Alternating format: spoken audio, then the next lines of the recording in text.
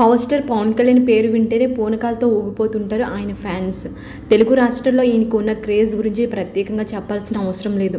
అయితే star director Harish Shankar కూడా ఈయనకు వీరాభిమాని అన్న విషయం అందరికీ తెలిసిందే. అయితే ఓ అభిమాని తమ ఫేవరెట్ హీరోతో సినిమా తీస్తే ఎలా ఉంటుందనేది గబ్బర్ సింగ్తో ప్రూవ్ చేశాడు. మళ్ళీ అదే విషయాన్ని మరింత గట్టిగా చెప్పేందుకు మన ముందుకు వస్తున్నాడు. కరెక్ట్గా పదకొండేళ్ళ తర్వాత హరీష్ శంకర్ పవన్ కళ్యాణ్ కాంబోలో ఉస్తాద్ భగత్ సింగ్ అనే cinema తెరకెక్కుతుంది.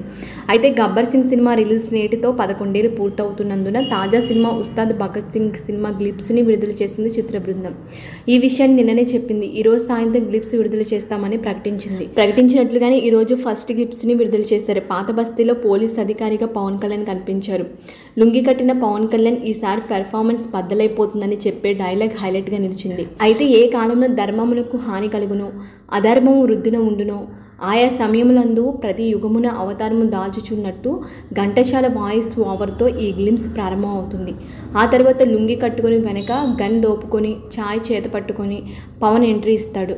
Bhagat Bhagat Singh Mahankali police station Afzalgunj పాత బస్తీ అంటూ పవన్ కళ్యాణ్ కనిపిస్తాడు. ఓరమాస్ లుక్లో కనిపించాడు. వాకింగ్ స్టైల్ కళ్ళజోడు పెట్టుకొని చేతులు ఊపే స్టైల్ అదిరింది. లాస్ట్ షాట్ అయితే మరింత అదిరిపోయింది. ఈ గ్లిమ్స్ చూస్తుంటేనే సినిమా అదిరిపోనుందని అర్థమవుతుంది.